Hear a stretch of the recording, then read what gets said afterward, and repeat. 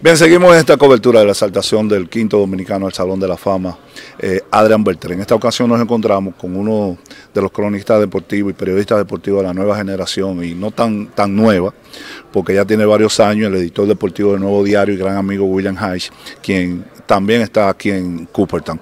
William, háblanos del impacto de este quinto dominicano en Cooperstown.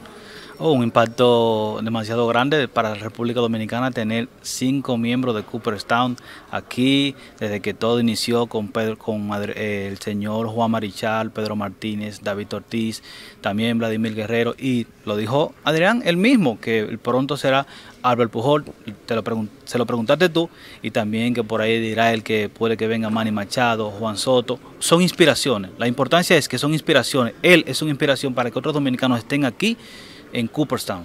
La industria del béisbol dominicana es una de las industrias que más le aporta al fisco dominicano independientemente en cualquier situación. ¿Tú entiendes que es valorado el béisbol en República Dominicana en su justa dimensión con lo que realmente aporta al fisco dominicano? Yo pienso que no, no. Yo creo que debe, debemos tener mejores estadios, debemos tener mejores condiciones para los peloteros, debemos, debemos de, de, tener más condiciones para todo, porque el béisbol lo hace, lo, es todo. Cuando hay águilas, cuando hay juego águilas, Licey en República Dominicana hay un lleno total. La gente está en, en los colmadones, en, las, los discotecas, en los bares, pero también está en el play. Y creo que también eh, hay que hay que valorar más al béisbol dominicano, al béisbol. Hola mi gente, yo soy Nelson Cruz y les invito a que visiten Big League en New York. William, te conocemos ya de hace varios años, sabemos la experiencia que tú tienes, pero este tipo de cobertura, eh, ¿qué aporta eh, a nivel de, lo laboral que uno viene a hacer? ¿Qué, uno, ¿Qué te lleva tú de aquí? Bueno, me acabo de llevar unos boches de Adrián Beltré a la prensa dominicana. Eh, no, en, verdad me sentí muy avergonzado. No sé cómo te sentiste tú.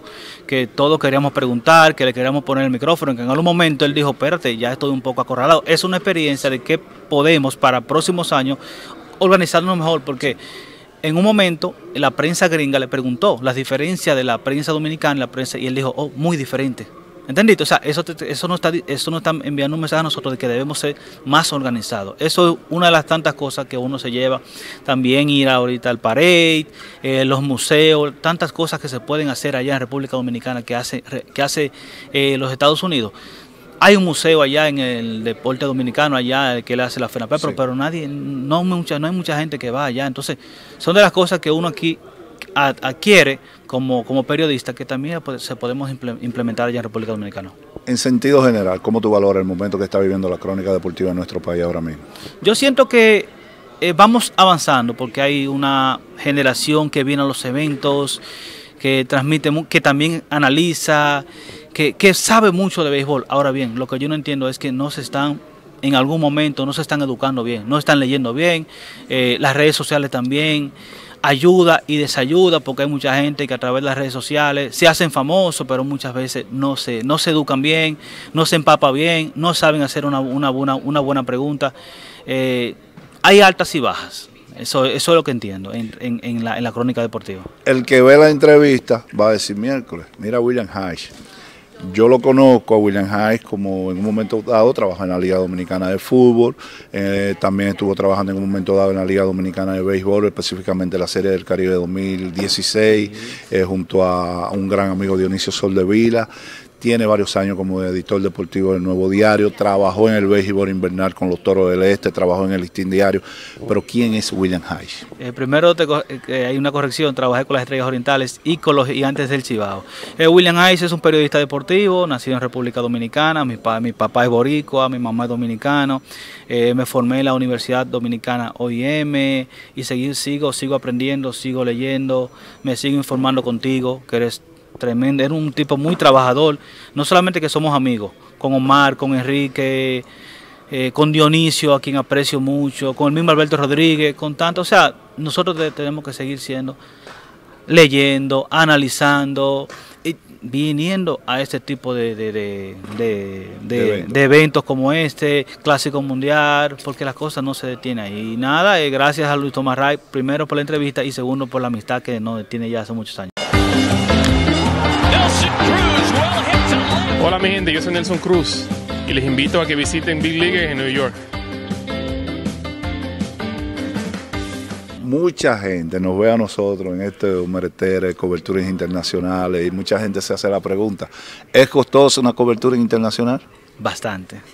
Créeme que sí, que es muy bastante. Yo en el caso mío, gracias a Dios, el periódico El Nuevo Diario eh, me costea.